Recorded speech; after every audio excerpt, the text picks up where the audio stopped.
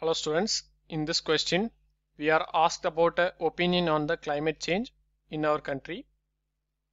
Climate change